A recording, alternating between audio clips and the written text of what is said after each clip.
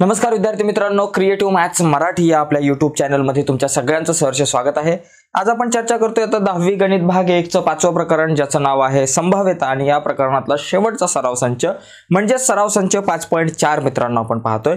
या अगोदरच्या व्हिडिओजमध्ये आपण सराव संच पाच पॉईंट एक पाच पॉईंट दोन आणि पाच पॉईंट तीनवर चर्चा केलेली आहे. अगोदरच्या व्हिडिओज जर तुम्ही नसतील बघितल्या तर या व्हिडिओच्या खाली डिस्क्रिप्शनमध्ये मी एक लिंक शेअर केले त्या लिंकवर क्लिक करून तुम्ही अगोदरच्या सगळ्या व्हिडिओज बघून घ्या. तर वर वळूयात सराव संच पाच पॉईंट चारकडं पण पुढे जाण्याच्या अगोदर एक रिक्वेस्ट आहे मित्रांनो. जर तुम्ही नवीन असाल आपल्या यूट्यूब चॅनलवर आणि अजूनपर्यंत आपला चॅनल नसेल सबस्क्राईब केला तर प्लीज आत्ताच आपला चॅनल सबस्क्राईब करा. आणि नुसताच चॅनल सबस्क्राईब नका करू त्या बाजूला एक बेलचं बटन आहे ते सुद्धा दाबा जेणेकरून आम्ही अपलोड केलेल्या प्रत्येक नवीन व्हिडिओचे नोटिफिकेशन सगळ्यात अगोदर तुमच्यापर्यंत पोहोचेल ओके तर बघूयात सराव संच पाच पॉईंट चार. यामध्ये आपल्याला काय काढायचे? संभाव्यता काढायला सांगितले. पाच पॉईंट चारमध्ये आपल्याला संभाव्यता काढायचे. दिलेल्या ज्या काही घटना आहेत नमुना अवकाश दिलाय त्या काही घटना दिल्यात आणि त्यावरून संभाव्यता आपल्याला काढायची. आणि संभाव्यता काढण्याचं सूत्र काय आहे? त्यावर आपण डिटेल्समध्ये चर्चा करू. पण बघूयात नेमकी कशी संभाव्यता काढायची? बघा पहिला प्रश्न आपल्याकडं की दोन नाणी फेकली असता खालील घटनांची संभाव्यता काढा. तर घटना आहेत दोन. पहिली घटना आहे कमीत कमी एक छाप मिळणे आणि दुसरी घटना आहे एकही छाप मिळ न मिळणे. आता या घटना गेल्या उडत समजा. हां त्या बाजूला गेल्या. पण त्या घटनांच्या अगोदर आपल्याला नमुना अवकाश लिहिता आला पाहिजे. आपण अगोदर नमुना अवकाश लिहूयात आणि मग घटनांकडे वळूयात. मग नमुना अवकाश लिहिताना आपण काय करू बघा? सगळ्यात पहिली गोष्ट काय दिलंय की दोन नाणी फेकली असता नमुना अवकाश. इथं लिहायचं तसं दोन नाणी फेकली असता.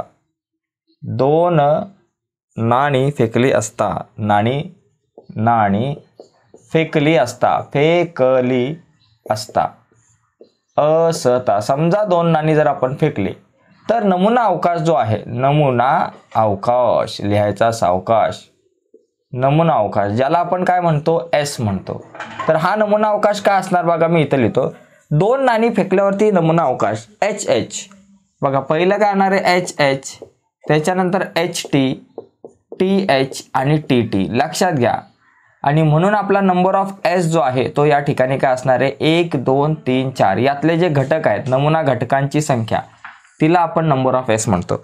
बघा मी परत एकदा सांगतो नमुना अवकाश काही घटना आहेत अशा की एक नाणं फेकल्यावर काही म्हणजे जे आपण म्हणतो ना प्रयोग असे आहेत. उदाहरणार्थ एक नाणं फेकलं असता नमुना अवकाश काय? दोन नाणं फेकल्यावर नमुना अवकाश काय? तीन नाणं फेकल्यावर नमुना अवकाश काय? त्याचबरोबर एक फासा फेकल्यावर दोन फासे फेकल्यावरती नमुना अवकाश काय असेल? किंवा बावन्न पत्त्यांमधून एक पत्ता जर आपण काढला तर त्यासाठी नमुना अवकाश काय असणार आहे? अशा प्रकारचे काही महत्त्वाचे नमुना अवकाश आहेत ते आपण मला तर वाटतं सराव संच पाच पॉईंट दोन का तीनच्या अगोदर आपण बघितले आहेत. तर ते ती सुद्धा व्हिडिओ तुम्ही बघून घ्या खूप इम्पॉर्टंट आहे. तर सगळ्यात पहिली गोष्ट नमुना अवकाश. ज्यावेळेस आपण दोन नाणी फेकतो त्यावेळेस काय नमुना अवकाश असेल? बघा पहिल्या नाण्यावरती छापा दुसऱ्या नाण्यावर छापा. किंवा दोन म्हणजे जर मी पहिलं नाणं उडवलं छापा पडेल दुसरं नाणं उडवल्यावर पण छापा पडू शकतो ओके? किंवा पहिल्या नाण्यावर छापा दुसऱ्यावर काटा. किंवा पहिल्या नाण्यावर काटा पडेल दुसऱ्या नाण्यावर छापा पडेल. किंवा दोन्ही नाण्यांवर काटा सुद्धा पडू शकतो. या चार सगळ्या शक्यता आहेत. नमुना अवकाश म्हणजे सगळ्या शक्यता. त्या प्रयोगाच्या. तर इथं सगळ्या शक्यता आपण या ठिकाणी लिहिल्या त्याला आपण नंबर ऑफ एस बरोबर चार लिहिलं ओके आता ज्या काही घटना आहेत आपल्याकडं त्या घटनामध्ये आता समजा आपण एक घटना आहे तिला आपण घटना ए म्हणू. घटना ए अशा घटना दोन तीन घटना आहेत दोन घटना दिल्या त्याच्यातली पहिली जी घटना आहे तिला आपण म्हणू कमीत कमी एक छाप मिळणे. कमीत कमी कमीत कमी एक छाप मिळणे. एक छाप मिळणे अशी घटना आहे आपल्याकडे ओके कमीत कमी एक छाप मिळणे. आता याचा अर्थ काय की कमीत कमी एक तरी छापा पाहिजे. कमीत कमी एक म्हणजे एक तरी पाहिजे एकाच्या खाली शून्य नकोय. आता याचं उदाहरण जर द्यायला झालं तर समजा तुम्ही याला जायचं मुंबईपासून पुण्यापर्यंत जायचं आणि ट्रेनचं तिकीट आहे शंभर रुपये. तर तुमच्या खिशात कमीत कमी शंभर रुपये पाहिजेत. शंभरच्या खाली चालतील का? नाही चालणार.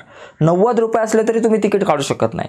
ऐंशी रुपये असले तरी नाही काढू शकत पण शंभर रुपये पाहिजेत तुमच्याकडे. शंभरच्या खाली जर असतील तर तिकीट मिळणार नाही. हां पण तुमच्या केशात जर एकशे दहा रुपये असतील तर तुम्ही तिकीट काढू शकता का? यस शंभर रुपयाचं तिकीट काढाल दहा रुपये तुम्ही खिशात ठेवाल. दोनशे रुपये असले तरी चालतील तीनशे चारशे पाचशे हजार दहा हजार पन्नास हजार साठ हजार एक लाख पैशाच्या बॅगाच्या बॅगा घेऊन गेलात तरी काय प्रॉब्लेम नाही. फक्त शंभरच्या खाली नको. शंभरच्या वर कितीही रुपये चालू शकतात तुमच्याकडे. शंभरच्या वरती कितीही रुपये असल्यावर तुम्ही शंभरचं तिकीट काढून बाकीचे पैसे तुम्ही ठेवू शकता तुमच्याकडे.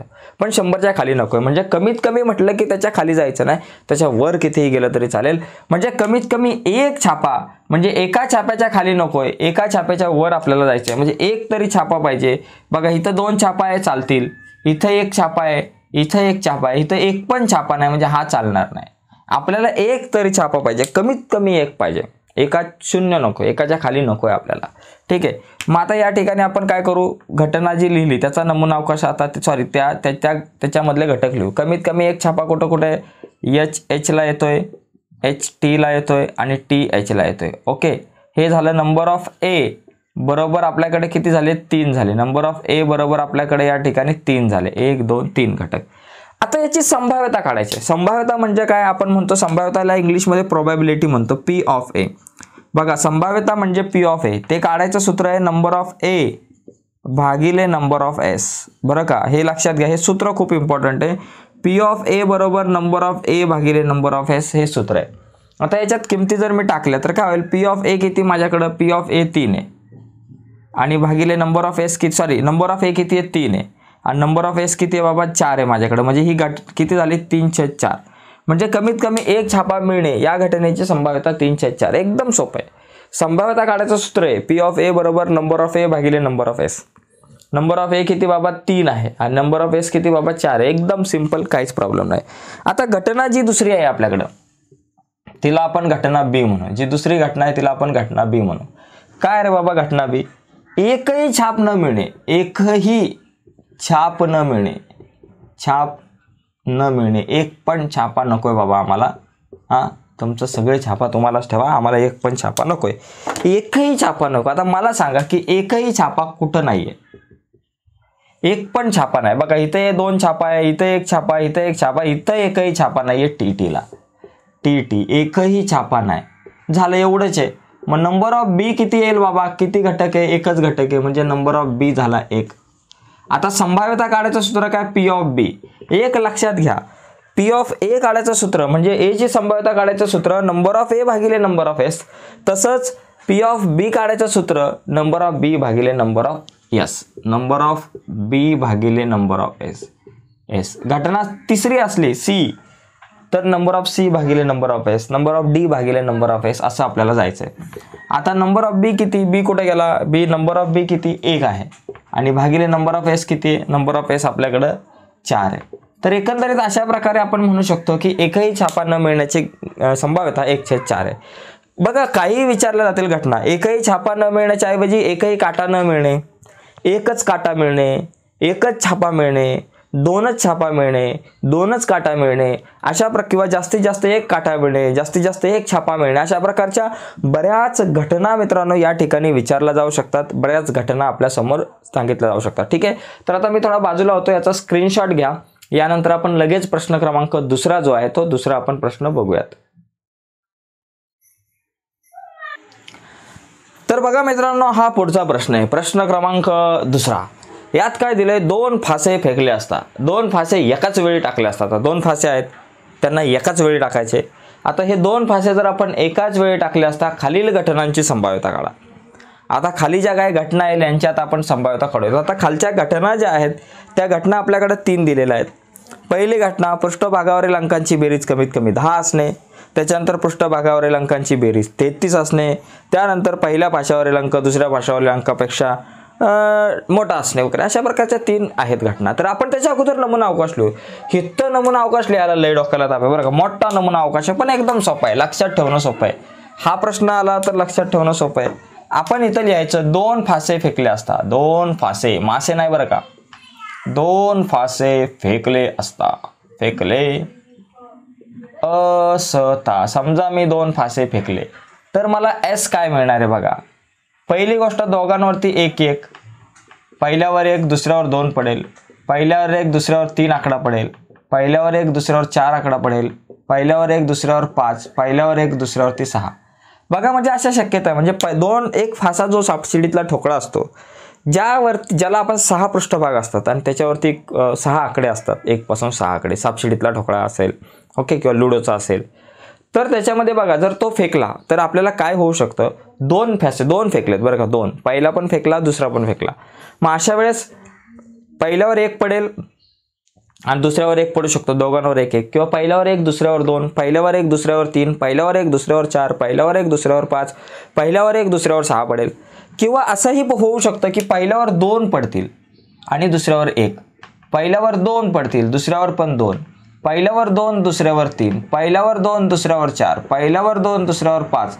आणि पहिल्यावर दोन दुसऱ्यावर सहा. असंही होऊ शकतं. किंवा पहिल्या पाच्यावर तीन पडेल.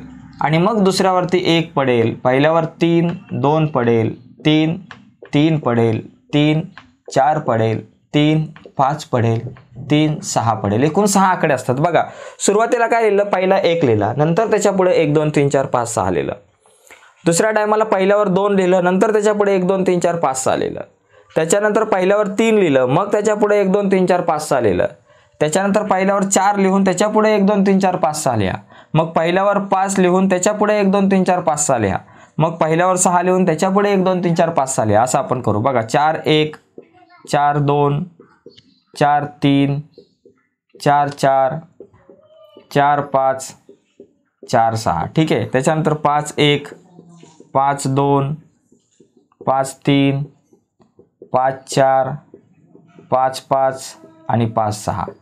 त्याच्यानंतर सहा एक सहा दोन सहा तीन सहा चार सहा पाच सहा सहा. झालं? एकूण किती झाले घटक? बघा बरं का. नमुना घटक किती झाले एकूण? बघा प्रत्येक लाईनीत किती? एक दोन तीन चार पाच सहा आहे प्रत्येक ओळीत. मग सहा के सहा साई बारा सायत्रिक अठरा सायचोक चोवीस सहा पंचेतीस सहा सहा छत्तीस. नंबर ऑफ एस आपल्याकडे या ठिकाणी किती आलं आहे छत्तीस आलेला आहे. नंबर ऑफ एस छत्तीस. तर अशा प्रकारे नंबर ऑफ एस झालं. आता दिलेल्या ज्या काही घटना आहेत त्याच्यामध्ये पहिली घटना काय की बाबा पृष्ठभागावरील अंकांची बेरीज कमीत कमी दहा असणे. तिला आपण घटना ए लिहू. अंकांची बेरीज कमीत कमी दहा असणे. अंकांची बेरीज बेरीज कमीत कमी कमीत कमी दहा असणे. दहा असणे बघा कमीत कमी दहाचा अर्थ काय? की बाबा दहाच्या खाली नकोय. मला बेरीज कमीत कमी दहा तरी पाहिजे. दहाच्या खाली नकोय. अंकांची बेरीज. म्हणजे या दोन दोन अंक जे दिसतात आपल्याला जोड्या दिसतात त्यांची बेरीज कमीत कमी दहा पाहिजे. दहाच्या खाली नको मग अशी आपण म्हटलं कमीत कमी दहा. म्हणजे दहाच्या खाली नकोय. दहाच्या वर गाडी गेली तरी चालेल. दहाच्या खाली आपल्याला यायचं नाही. म्हणजे कमीत कमी दहा म्हणजे दहा चालेल. अकरा चालेल बारा बेरीज चालेल. तेरा तर येणार नाही. सहा आणि सहा बाराच्या वरती तेरा येणार नाही. बघू कोणाची कमीत कमी दहा येते. तीन आणि सहा नऊ. चार आणि पाच नऊ सहा आणि चार दहा. बघा यांची दहा येते. चालेल. पाच आणि चार नऊ नाही चालणार. पाच आणि पाच दहा चालेल. पाच आणि सहा अकरा चालेल. बघा इथं सहा आणि चार दहा चालेल. सहा आणि पाच अकरा चालेल. सहा आणि सहा बारा चालेल. बघा या सहा जोड्यांची जी बेरीज आहे ती दहा येते किंवा दहाच्या पुढे येते. म्हणजे दहा येते अकरा येते बारा येते. याच्या व्यतिरिक्त कोणाचीच बेरीज बघा सहा आणि तीन नऊ पाच आणि चार नऊ चार आणि पाच नऊ तीन आणि सहा नऊ. बाकी सगळ्यांची बेरीज नवापेक्षा खालीच येते. नऊ आणि नऊपेक्षा खाली ओके? दहा किंवा दहापेक्षा खाली येते. पण यांचीच बेरीज सहा जणांची दहा कमीत कमी दहा आहे. म्हणजे दहा आणि दहापेक्षा जास्त आहे. मग आपण यांना लिहू शकतो. कमीत कमी दहा म्हटलं की दहाच्या खाली जायचं नाही. कमीत कमी दहा म्हणजे दहा तरी पाहिजेत आणि दहाच्या वरती पाहिजेत. ओके? आता बघा ए. मग आपण लिहू. काय काय लिहिलं बाबा तिथं? या सगळ्यांना लिहू. चार सहा. त्याच्यानंतर काय बाबा? पाच पाच. पाच सहा. त्याच्यानंतर सहा चार. सहा पाच. आणि सहा सहा. ठीक आहे? या सगळ्यांना आपण या ठिकाणी लिहून घेतलं. ठीक आहे? आता मला सांगा नंबर ऑफ ए बरोबर किती? नंबर ऑफ ए किती घटक झाले? एक दोन तीन चार पाच सहा. सहा घटक लिहिले. आणि म्हणून आता आपण काय करू? संभाव्यता काढू म्हणजे पी ऑफ ए म्हणजे काय बाबा? नंबर ऑफ ए भागिले नंबर ऑफ एस हे सूत्र आहे. आता नंबर ऑफ ए किती? सहा. आणि भागिले नंबर ऑफ एस किती? कुठे गेला? नंबर ऑफ एस किती? छत्तीस आहे. ओके मग काय येईल बाबा? सहा एक के सहा सहा सहा छत्तीस. म्हणजे किती आले एक छे सहा संभाव्यता आले. म्हणजे अंकांची बेरीज कमीत कमी दहा असण्याची संभाव्यता एक छेद सहा येते. ठीक आहे? तर आता पुढची घटना लिहू. घटना बी घटना बी. अशा एकूण तीन घटना आपल्याला दिल्यात. इथं घटना बी. काय पृष्ठभागावरील अंकांची बेरीज तेहतीस असणे. इथं लिहायचं मी शॉर्टकटमध्ये लिहितो अंकांची बेरीज तेहतीस असणे. अंकांची बेरीज तेहतीस असणे. तेहतीस असणे. ओके अंकांची बेरीज तेहतीस असणे. तुम्ही पूर्ण लिहा पृष्ठभागावरील अंकांची बेरीज तेहतीस असणे. आता मला एक गोष्ट सांगा कोणाची बेरीज तेहतीस आहे रे? इथं कोणाचीच तेहतीस येत नाही. जास्तीत जास्त सहा अधिक सहा बारा. बारा ही मोठी बेरीज आहे. बारापेक्षा मोठं येतच नाही तेरा पण नाहीत मोठी बेरीज. ओके? म्हणजे इथं काहीच येणार नाही मित्रांनो काहीच नाही येणार. म्हणून आपला नंबर ऑफ बी बरोबर काहीच नाही म्हणजे शून्य. नंबर ऑफ बी शून्य. मग पी ऑफ बी बरोबर किती बाबा? नंबर ऑफ बी भागिले number of S. Number of B शून्य भागिले नंबर ऑफ एस छत्तीस. शून्य भागिले छत्तीस किती शून्य? म्हणजे संभाव्यता शून्य येते. काहीच येणार नाही. संभाव्यताच येणार सांगताच येणार नाही. आपलं शून्य येणार संभाव्यता. ओके इथं. अंकांची बेरीज तेहतीस असणे. पुढं काय? की पहिल्या भाषावरील अंक दुसऱ्या भाषावरील अंकापेक्षा मोठा असणे. अरे बापरे. घटना सी. पहिल्या फाशावरील अंक. फाशावरील अंक. अंक मोठा आहे. ठीक आहे मी शॉर्टकटमध्ये लिहितो. पहिल्या भाषावरील अंक मोठा किंवा पहिल्या भाषावरील संख्या मोठ मोठी आहे. पहिल्या भाषावरील अंक दुसऱ्यापेक्षा मोठा. आता एकदम सिंपल आहे बघा. सी मला एक सांगा. पहिला अंक मोठा आणि दुसरा अंक काय बाबा? लहान आहे. आता इथं आपण बाकी सगळे हे रफ करू. पहिल्या भाषावराचा अंक मला मोठा पाहिजे ओके? आता इथे बघा इथे दोन्ही सारखं आहे. इथं पहिल्यावरचा लहान आहे. पहिल्यावरचा लहान पहिल्यावरचा मोठा पाहिजे. बघा इथे पहिल्या भाषावरचा अंक मोठा आहे. इथे समान आहे इथं पहिला लहान आहे पहिला लहान आहे. बघा इथं पहिला मोठा आहे इथं पहिला मोठा आहे. इथं दोन्ही समान आहे इथे पहिला लहान आहे. इथं पहिला अंक मोठा पहिला अंक मोठा पहिला अंक मोठा. बाकी समान आहे लहान आहे लहान आहे. पहिला अंक मोठा पहिला मोठा पहिला मोठा पहिला अंक मोठा.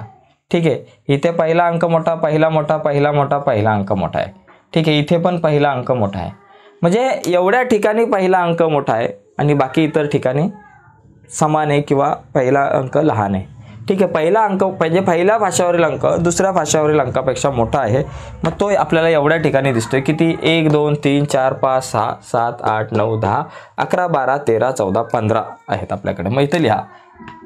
दोन एक त्याच्यानंतर तीन एक तीन दोन चार एक चार दोन चार तीन पाच एक. बरं का किती झाले? एक दोन तीन चार पाच सहा सात पाच एक नंतर पाच दोन पाच तीन पाच चार मग सहा एक सहा दोन सहा तीन सहा चार आणि सहा पाच. बघा या सगळ्यांना आपण या ठिकाणी लिहिलं. काय काय किती आहेत बाबा? एक दोन तीन चार पाच सहा सात आठ नऊ दहा अकरा बारा तेरा चौदा पंधरा. म्हणजे नंबर ऑफ सी बरोबर किती आलं आपल्याकडं? पंधरा आलं. पंधरा अंक आहेत ते. पंधरा अशा घटना आहेत आपण म्हणू शकतो पंधरा घटक आहेत. मग आता याची संभाव्यता काय? पी ऑफ सी बरोबर काय? नंबर ऑफ सी भागिले number of S number of C किती? पंधरा. आणि नंबर ऑफ एस किती आहे? बाबा माझ्याकडे छत्तीस आहे. नंबर ऑफ एस छत्तीस आहे. आता एवढं लिहिलं तरी चालेल परंतु पंधरा आणि छत्तीस कितीच्या पाड्यात येतात? तीनाने भाग जाऊ शकतो. बघा तीना पाची पंधरा आणि इथं बघा तीन एके तीन तीन दोन सहा. म्हणजे पाचशे बारा ही संभाव्यता असणार आहे. पहिल्या पाचशेवरील अंक मोठा असण्याची. ठीक आहे? मी थोडा बाजूला होतो. याचा या दुसऱ्या प्रश्नाचा स्क्रीनशॉट तुम्ही मांडू शकताय. परंतु एक गोष्ट आणखी सांगतो तुम्हाला की यामध्ये बघा तुम्हाला खूप वेगळे प्रश्न विचारले जाऊ शकतात. यामध्ये तुम्हाला आणखी इतर प्रश्न काय विचारले जाऊ शकतात? की दोन्ही फाशांवरचा अंक समान आहे. असं पण विचारेल ना दोन्ही फाशांवरचा स- अंक समान आहे असाही प्रश्न विचारला जाऊ शकतो. जसं इथं सांगितलं पहिल्या फाशावरील अंक मोठा आहे. तसा दुसऱ्या पाशावरील अंक मोठा आहे हे सुद्धा विचारलं जाऊ शकतो. इथं जसं कमीत कमी बेरीज दहा असणे सांगितले तसं कमीत कमीत बेरीज बारा असणे विचारतील कमीत कमी बेरीज नऊ असणे विचारतील किंवा जास्तीत जास्त बेरीज दहा पाहिजे जास्तीत जास्त बेरीज पाच पाहिजे अशा प्रकारचे प्रश्नसुद्धा वेगवेगळ्या प्रकारचे प्रश्न तुम्हाला इथं विचारले जाऊ शकतात. ठीक आहे मी थोडा बाजूला होतो याचा स्क्रीनशॉट हवा असेल तर तुम्ही घेऊ शकता पण आणखी एक गोष्ट सांगतो मित्रांनो बघा घ्या स्क्रीनशॉट घ्या तुम्ही आधी.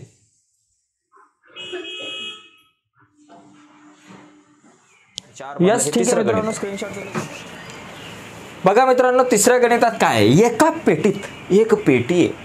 त्या एका पेटीमध्ये काय दिलंय की प्रत्येक तिकीट पंधरा तिकीट आहेत. एका पेटीत पंधरा तिकीट आहेत. प्रत्येक तिकिटावर एक ते पंधरापैकी एक संख्या लिहिली आहे. यातून एक तिकीट यादृच्छिक पद्धतीने काढले असता संभाव्यता काढा. आता संभाव्यता काढूच पण ती काढण्याच्या अगोदर नमुना अवकाश लिहिणं गरजेचं आहे. आता एका पेटीत किती? पंधरा तिकिटे आहेत. बरं का? एका पेटीत एका पेटीत पंधरा तिकिटे आहेत. पंधरा तिकिटे आहेत. ओके? आणि त्याच्यावरती एक ते पंधरापर्यंतचे आकडे लिहिले आहेत बरं का? एका पेटीत एक ते प पंधरा तिकिटे आहेत. प्रत्येक तिकिटावर एक ते पंधरापर्यंतच्या संख्या लिहिलेल्या आहेत. मग आता एक ते पंधरापर्यंतच्या संख्या लिहिल्यात. म्हणून नमुना अवकाशमध्ये येणार. एक दोन तीन चार पाच सहा सात आठ नऊ दहा अकरा बकरा तेरा चौदा पंधरा. म्हणजे number of S is equal to fifteen number of S बरोबर किती? पंधरा झाले. कारण एक ते पंधरा तिकीट आहेत. तिकीटं पंधरा आहेत आणि त्याच्यावरती एक ते पंधरापर्यंत त्याचे आकडे आहेत. म्हणून नंबर ऑफ एस पंधरा. प्रश्न असाही विचारला जाऊ शकतो की पंचवीस तिकीट आहेत मग एक ते पंचवीसपर्यंतचे आकडे लिहिले असते तीस असतं तर एक ते तीसपर्यंतचे लिहिले असते तर अशा प्रकारे हा नमुना अवकाश आपण काढला. नमुना अवकाश लिहायचा एकदम सावकाश रिलॅक्समध्ये आता आपण जरा पुढं जाऊयात. पुढं म्हणजे सराव संच पाच पॉईंट चारमधला हा जो प्रश्न आहे याच्यामध्ये पुढं आता आपल्याला जायचं झालं तर पुढे काय? तीन घटना लिहिल्या आहेत दोनच घटना आहेत. घटना काय बाबा? पहिली घटना जी आहे ती समसंख्या असणे आणि दुसरी घटना पाचच्या पटीतली संख्या असणे. आता समसंख्या असणे घटना एक. घटना ए. घटना ए काय दिले की तिकिटावरील संख्या. बरोबर का? तिकिटावरील संख्या समसंख्या आहे. तिकिटावरील संख्या कशी आहे? समसंख्या आहे. समसंख्या आहे. समसंख्या आहे. आता मला सांगा समसंख्या म्हणजे काय? ज्या संख्येला दोनाने भाग जातो ज्या संख्या दोनाच्या पाड्यात येतात त्यांना आपण समसंख्या म्हणतो. मग समसंख्या या ठिकाणी लिहूयात. ए बरोबर बे के बे. बघा कोण कोण झालं समसंख्या बघा? दोनाच्या पाड्यातल्या बे के बे बे दोन्ही चार बे त्रिक सहा बे चक आठ बे पंचे दहा बे सक बारा बे साती चौदा. एवढ्याच झाल्या. ओके? मग दोन चार सहा आठ दहा बारा आणि चौदा. ओके? मग नंबर ऑफ ए बरोबर किती झालं? एक दोन तीन चार पाच सहा सात. नंबर ऑफ ए बरोबर सात. झालं? झाला एकदम सोपा विषय. आहे. बघा जर विषम संख्या विचारल्या असत्या तर मग बाकी उरलेले आले असते एक तीन पाच सात नऊ अकरा वगैरे. ओके आता सम विचारलात म्हणून. सम लिहू. आता याची संभाव्यता म्हणजे पी ऑफ ए बरोबर नंबर ऑफ ए भागिले number of S number of A सात आणि नंबर ऑफ यस किती? पंधरा. सात छेद पंधरा ही झाली संभाव्यता. तिकिटावरील संख्या सम असण्याची. ओके? आता घटना बी घटना बी दुसरी जी घटना आहे तिला आपण बी म्हणू. ती घटना काय दिली बाबा? की पाचच्या पटीत संख्या असणे. बरं का? तिकिटावरील संख्या. तिकिटावरील संख्या कशी असणे? पाचच्या पटीत असणे. संख्या पाचच्या पटीत असणे. तिकिटावरील संख्या पाचच्या पटीत असणे. ठीक आहे. मग आता पाचच्या पटीत असणारी संख्या कुठल्या? म्हणजे पाचच्या पाड्यात येतात. आता पाचच्या पाड्यात येणारी संख्या बघा. पाच एके पाच. पाच दुने दहा. पाच त्रिक पंधरा. तीनच संख्या पाचच्या पाड्यात. पाच एके पाच. पाच दुने दहा. पाच त्रिक पंधरा. पाच चोक वीस पण येतात. पण ती ह्याच्यात नाही येत ना वीस. याच्यातूनच निवडायच्यात आपल्याला. पाच एके पाच. पाच दुने दहा. पाच त्रिक पंधरा. तीनच येतील. ठीक आहे. म्हणून number of B is equal to एक दोन तीन. नंबर ऑफ बी बरोबर तीन. नंबर ऑफ बी तीन तर पी ऑफ बी किती? नंबर ऑफ बी भागिले number of S number of B किती? तीन. आणि भागिले नंबर ऑफ यस किती? पंधरा. तीन भागिले पंधरा. तीन एके तीन तीन पाची पंधरा. किती आलं? एक छेद पाच. म्हणजे तिकिटावरील संख्या पाचच्या पटीत असण्याची घटना जी आहे तिची संभाव्यता जी आहे ती एक छेद पाच येणार. ठीक आहे? याचा स्क्रीनशॉट घ्या यानंतर लगेच आपण प्रश्न क्रमांक चौथा बघूयात. तर मित्रांनो प्रश्न क्रमांक चार आपल्या फळ्यावरती आहे. काय दिलं चार नंबरच्या प्रश्नात? की अंकांची पुनरावृत्ती न करता म्हणजे रिपिटेशन करायचं नाही डबल डबल नाही द्यायचे अंक. ती पुनरावृत्ती न करता दोन तीन पाच सात नऊ. या अंकांपासून दोन अंकी संख्या तयार केली. तर खालील घटनांची संभाव्यता काढा. आता यांच्यापासून दोन अंकी संख्या तयार करायच्या बघा. आता आपण इथं अगोदर काय करायची? नमुना अवकाश लिहू. अगोदर आपण लिहायचा नमुना अवकाश एकदम सावकाशमध्ये आता यस बरोबर काय येणार आहे? आता याच्यापासून अंकांची पुनरावृत्ती न करता दोन आकडी. मग आता मी सुरुवातीला दोनला पकडतो. दोनपासून दोन अंकी संख्या. दोनाच्या पुढं दोन लिहिले तर बावीस होतात. पण दोनाच्या पुढं दोन लिहायचे नाही. कारण रिपिटेशन नको. मग दोनाच्या पुढं आपण तीन लिहू म्हणजे तेवीस होतील. दोनाच्या पुढं पाच लिहू पंचवीस होतील. दोनाच्या पुढं सात लिहू सत्तावीस होतील. दोनाच्या पुढं नऊ लिहिले एकोणतीस झाले. लक्षात आलं तुमच्या? म्हणजे यांच्यापासून आपल्याला दोन अंकी संख्या तयार करायची फक्त रिपिटेशन नको. मग सुरुवातीला मी दशकस्थानी पहिले दोन लिहून दोनच्या पुढं तीन पाच सात नऊ लिहून या संख्या तयार झाल्या. त्याच्यानंतर मी तीनाला पकडतो. आणि तीनाच्या पुढं लिहितो. तीनाच्या पुढं मग हे दोन लिहा. तीनाच्या पुढं तीन नाही लिहायचे. तेहतीस नको. रिपिटेशन नको. तिनाच्या पुढं मग पाच लिहितो मग तिनाच्या पुढं सात लिहितो मग तिनाच्या पुढे नऊ. झालं तिनाला सुरुवातीला घेऊन आपण या चार दोन अंकी संख्या बनवल्या. आता पाचाला सुरुवातीला घ्या. मग पाचाला सुरुवातीला घेऊन मग बावन्न बनवा. पाचाच्या पुढे दोन लिहा. पाचाच्या पुढं तीन लिहा. पाचाच्या पुढं पाच नका लिहू. पाचाच्या पुढं सात लिहा आणि पाचाच्या पुढं नऊ लिहा. लिहिलं? त्याच्यानंतर साताला घ्या सुरुवातीला. मग साताच्या पुढं लिहा दोन. साताच्या पुढं तीन लिहा. साताच्या पुढं पाच लिहा. सात नका लिहू साताच्या पुढं नऊ लिहा. आता नवापासून सुरुवात करा. नवाच्या पुढं दोन लिहिलं नवाच्या पुढं तीन लिहिलं नवाच्या पुढं पाच लिहिलं आणि नवाच्या पुढं सात लिहिलं. विषय संपला. म्हणजे आपला नंबर ऑफ एस जो आहे तो किती झाला? एक दोन तीन चार पाच एक दोन चार के चार चार दोन्ही आठ आठ दोन्ही सोळा आणि चार वीस. नंबर ऑफ एस बरोबर आपल्याकडं वीस आलेला आहे. ठीक आहे? नंबर ऑफ एस वीस आला. आता त्या घटना ज्या आहेत त्या आता आपण लिहूयात लक्षात आलं तुमच्या? हे बघा इथं मी बावीस तेहतीस पंचावन्न सत्याहत्तर आणि नव्याण्णव नाही लिहिलं. कारण इथं सांगितलं की बाबा अंकांची पुनरावृत्ती न करा.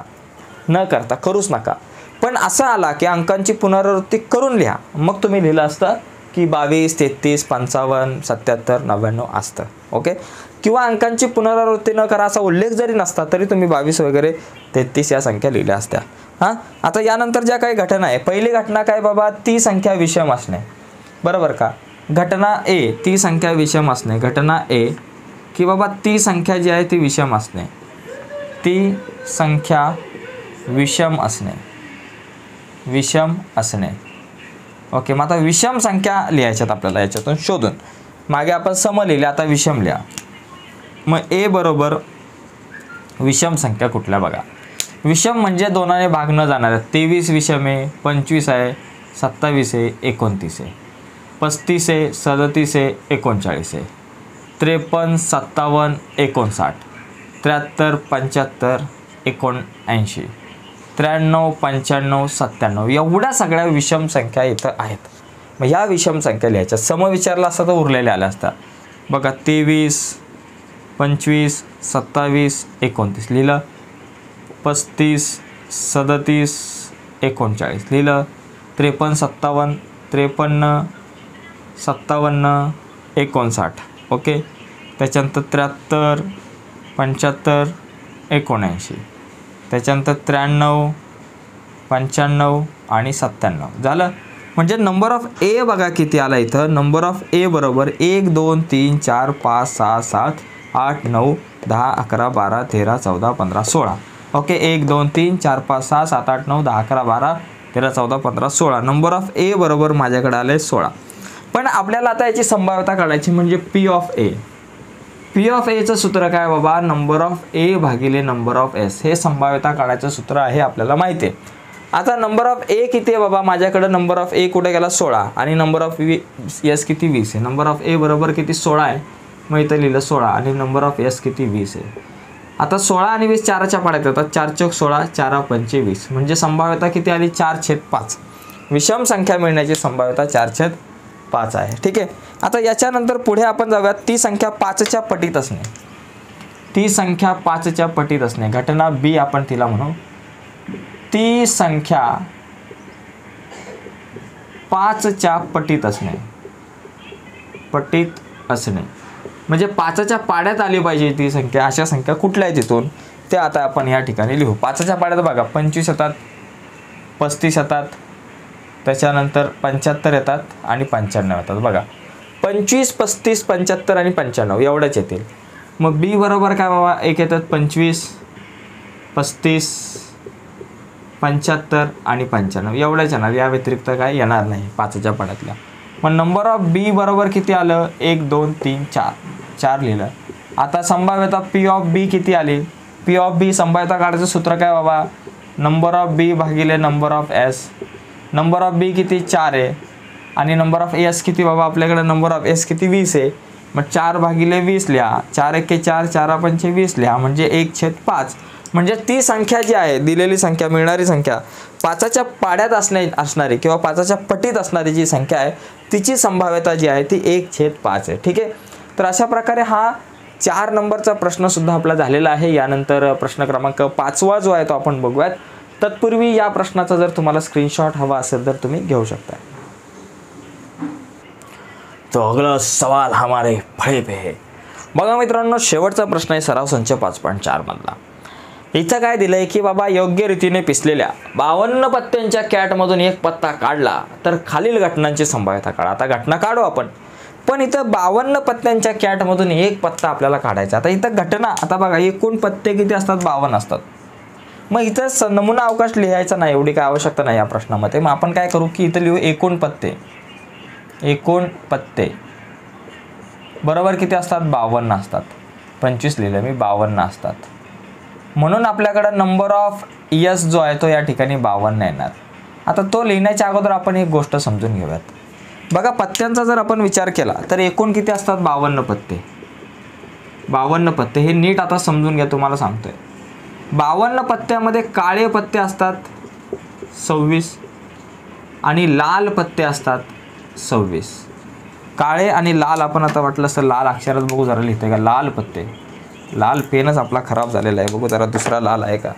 तसा तो रंग असला तर जरा बरं पडेल बघा. ओके लाल आहे. लाल रंगाचे पेन आहे आपल्याकडं. लाल जे आहेत लाल.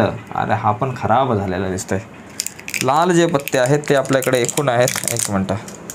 लाल असतात आपल्याकडे सव्वीस. ओके काळे सव्वीस लाल सव्वीस. लाल काय नीट दिसत नाही. आपण काय करू? लालला आपण याच्यात लिहू. लाल असतात आपल्याकडं सव्वीस. ठीक आहे? आता याच्यामध्ये बघा काळे सव्वीस आणि लाल सव्वीस. लाल सव्वीस आणि काळे सव्वीस असतात. ओके आता याच्यामध्ये पण काळ्यामध्ये पण दोन प्रकार आहेत. काळ्यामध्ये सुद्धा दोन गोष्टी आल्या. काळ्यामध्ये दोन गोष्टी कुठल्या? त्या आता आपण समजून घेऊयात. काळ्यामध्ये दोन असतात एक असतात इस्पिक आणि एक असतं किलोवर. बरं तेरा इस्पिक याच्यात दोन तेरा इस्पिक तेरा इस्पिक आणि तेरा किलोवर. ठीक आहे हे लक्षात घ्या. ओके? आणि लालमध्ये सुद्धा तेरा इस्पिक तेरा किलोवर. तेरा इस्पिक तेरा किलोवर. तेरा इस्प ते सॉरी तेरा बदाम आणि तेरा चौकट. तेरा बदामचे असतात आणि तेरा चौकटचे पत्ते. लक्षात घ्या. तेरा बदामचे पत्ते आणि तेरा चौकटचे पत्ते असतात. काळे पत्ते सव्वीस लाल पत्ते सव्वीस. तेरा पत्ते इस्पिकचे तेरा पत्ते किलोवरचे. तेरा बदामचे तेरा चौकटचे. हे आपल्याला समजून घेणं गरजेचं आहे. आणि याच्यामध्ये सुद्धा एक्का दुर्री तिर्री चौका पंजा चक्का सत्ता अठ्ठा नव्वा दसा गोटूर आणि बघा या प्रत्येक पत्त्यामध्ये काय असतंय? एक्का दुर्री तिर्री चौका पंजा छक्का सत्ता अठ्ठा नव्वा दस्सा गोटू राणी आणि बादशाह. याला गोटू राणी बादशाह असं आपण या ठिकाणी म्हणतो. गोटू राणी बादशाह कदाचित खाली दिसत असेल का सगळ्यांना बघा इथं? गोटू राणी आणि बादशाह मी खाली या ठिकाणी लिहिलेलं असं. ओके आपल्या माहितीसाठी सध्या. तर बराच आपला हा फळा जो आहे तो वाचतो एवढा भागतो थोडासा खाली घेण्याचा प्रयत्न करू नंतर. ठीक आहे? तर अशा प्रकारे प्रत्येक ह्याच्यामध्ये असतात. आता याच्यामध्ये बघा एक्का आहे दुर्री आहे तिर्री चौका पंचा दस्सापर्यंत. त्याच्यानंतर गोटू राणी आणि बादशाह प्रत्येक ह्याच्यामध्ये असतात. आता याच्यात आणखी एक गोष्ट लक्षात घ्यायची. चित्रयुक्त पत्ते कुठले असतात? की ज्याच्यावर चित्र असतात? असे पत्ते फक्त तीनच असतात. गोटू राणी आणि बादशाह. किलवरमध्ये पण गोटू राणी बादशाह असतात. बदाममध्ये पण गोटू राणी बादशाह चौकटमध्ये सुद्धा असतात. तर अशा प्रकारे हे पत्त्यांचा गेम असतो. हा पत्त्यांचा खेळ आहे. आता पुढे जाऊयात. आता आपण प्रश्न बघू. आता ग आता आपण या ठिकाणी घटना ए. घटना ए आपल्याकडे या ठिकाणी काय दिले? घटना ए दिले की एक्का मिळणे एक्का मिळणे एक्का मिळणे. आता मला एक सांगा एक्का किती असतात? एकूण एक्के किती असतात? चार असतात. बघा तुम्हाला किल इस्पिकचा एक एक्का असणार किलवरचा एक एक्का असणार बदामचा एक एक्का असणार चौकटचा एक अस एक्का असणार. प्रत्येक ह्याच्यात एक एक एक्का असणार प्रत्येक ह्याच्यात एक एक दुर्री असणार प्रत्येक ह्याच्यात एक एक तिर्री असणार प्रत्येक ह्याच्यात एक एक गोटू एक एक राणी एक एक बादशाह आपल्याकडं असतो. म्हणून एक्का मिळण्याची शक्यता किती आहे बाबा एकूण एक्के किती असतात? एकूण एक्के. एक्के बरोबर किती? चार असतात. ओके? म्हणून आपल्याकडं म्हणून आपल्याकडं नंबर ऑफ ए जो आहे तो किती आपल्याकडं आला? चार आला. म्हणून नंबर ऑफ ए चार. मग आता याची संभाव्यता म्हणजे पी ऑफ ए बरोबर किती? नंबर ऑफ ए भागिले number of S number of A चार आहे. ओके? आणि नंबर ऑफ एस किती? बावन्न आहे. मग चार एके चार आणि बावन्नच्या निम्मे बावन्नला जर चाराने भाग लावला दोघांना चाराने भाग जातो. बावन्नला चाराने भाग लावला तेरा. म्हणजे किती आलं बाबा? एक छेद तेरा. म्हणजे एक्का मिळण्याची शक्यता जी आहे एक्का मिळण्याची संभाव्यता एक छेद चार. त्याच्यानंतर इस्पिकचा पत्ता मिळणे. घटना बी. घटना बी इथं लिहितो. घटना बी. इस्पिकचा पत्ता मिळणे. इस्पिकचा पत्ता मिळणे. पत्ता मिळणे. एक गोष्ट लक्षात घ्या. एकूण बघा इस्पिकचा पत्ते इस्पिकचे एक पत्ते किती? तेरा असतात. म्हणजे इस्पिकचे पत्ते एकूण तेरा असतात. म्हणजे इथं नंबर ऑफ बी किती येणार? तेरा.